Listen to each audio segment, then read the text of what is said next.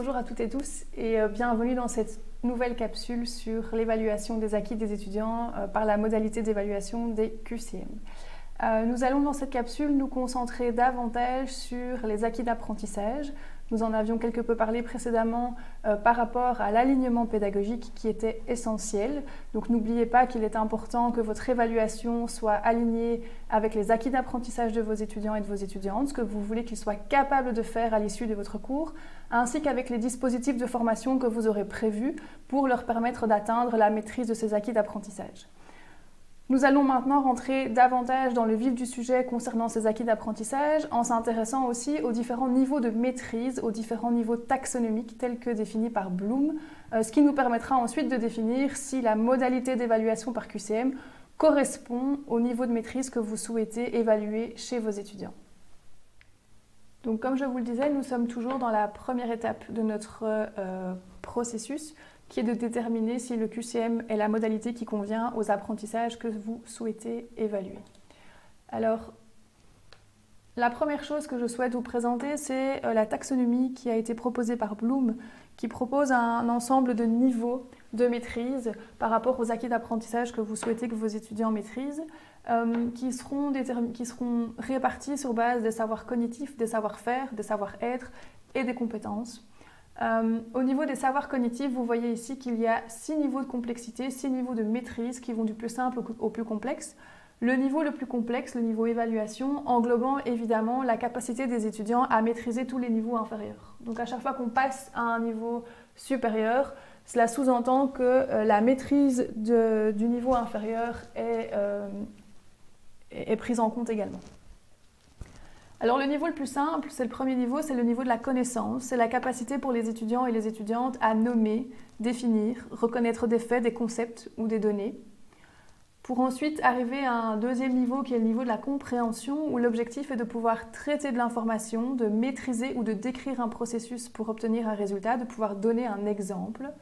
Ce qui nous conduit ensuite au niveau 3 qui est le niveau de l'application où euh, l'étudiant et l'étudiante sont maintenant euh, à même de mobiliser des connaissances dans un cas particulier. L'objectif est de pouvoir résoudre un exercice sur base des compétences acquises et donc sur base de la capacité à traiter de l'information, à maîtriser un processus. Le niveau 4 est le niveau d'analyse, où ici on va un cran plus loin puisque l'objectif est aussi de pouvoir séparer des éléments qui sont donnés de manière à faire apparaître des relations. Le niveau 5 est davantage un niveau de production, c'est le niveau de la synthèse, où euh, les étudiants et étudiantes doivent pouvoir concevoir une idée, proposer leur propre réorganisation. Euh, et ensuite le niveau 6, où l'objectif est de pouvoir formuler des hypothèses, proposer une, appréciation et porter un jugement critique sur une problématique, par exemple. Les savoir-faire, ce sont les connaissances et la mise en action des étapes pour réaliser une tâche. Et le savoir-être, on va avoir davantage les attitudes comme prendre la parole, travailler en équipe, euh, démontrer d'un esprit d'initiative, ou la capacité euh, par rapport au jugement de valeur à se positionner par rapport au milieu professionnel, à être capable d'accepter des valeurs culturelles, de, s'adapter, de s'intégrer dans une équipe, par exemple, euh, dans un stage ou dans une pratique professionnelle future. Alors vous l'aurez assez rapidement euh, compris, certains niveaux peuvent être traités par de l'évaluation par QCM, d'autres niveaux euh, ne sont pas du tout euh, évaluables par cette modalité. En effet, les modalités d'évaluation et de synthèse demandent aux étudiants et étudiantes une capacité de production, ce qui n'est pas possible de faire par, par le QCM, ce que vous pourrez davantage faire grâce à des examens écrits, des examens oraux, des exposés, des études de cas. Euh, mais pas par de l'examen de type QCM. Les quatre premiers niveaux, par contre, les niveaux de connaissance, compréhension, application et analyse sont tout à fait évaluables par le QCM. Alors on est, on est évidemment euh, bien plus loin que le entre guillemets simple QCM qu'on peut avoir l'habitude de rencontrer, qui sont des QCM de pure reconnaissance ou de définition, qui seront des QCM qui vont davantage évaluer le niveau 1 qui est le niveau de la connaissance. En allant un peu plus loin dans la complexité et la complexification des énoncés qu'on peut donner par le QCM, on peut effectivement mener une évaluation qui va jusqu'au niveau de l'analyse et donc la capacité des étudiants et étudiantes à séparer des éléments pour faire apparaître des relations.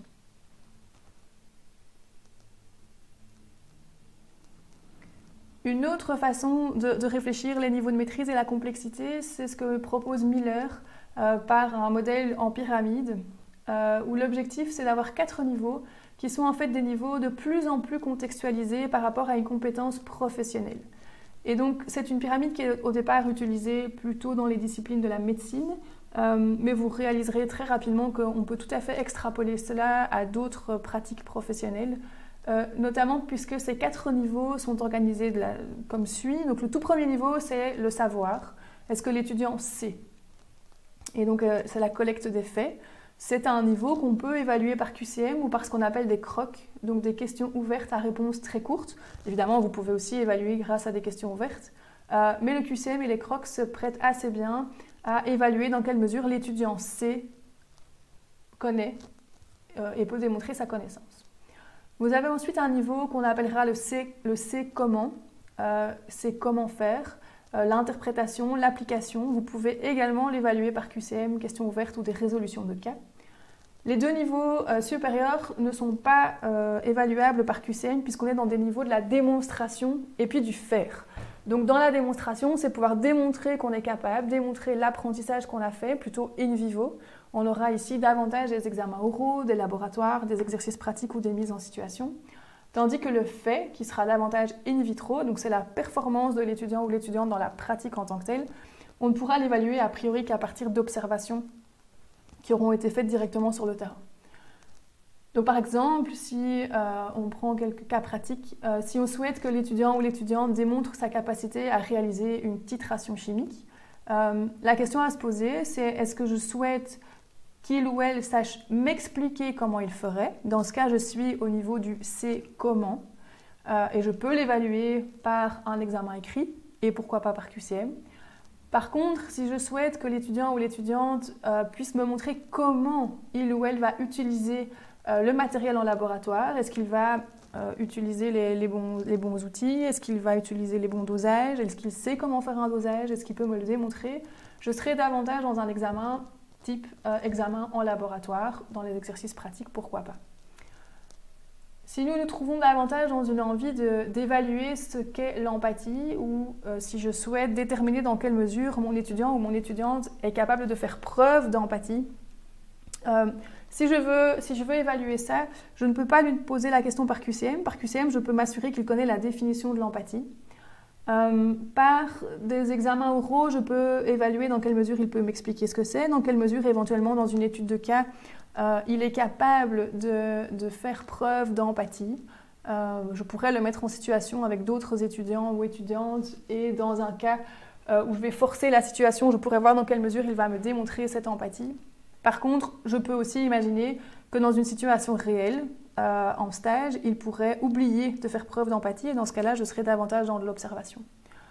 Vous pourriez aussi évaluer sa capacité à savoir comment une personne est empathique et là, vous l'évaluez davantage au niveau 2 et donc une question ouverte peut aussi euh, être utile. Donc vous voyez qu'en fonction de ce que vous souhaitez évaluer, jusqu'à quel niveau vous souhaitez le faire, le type, euh, la, modalité d'évaluation sera différente et cela peut varier grandement.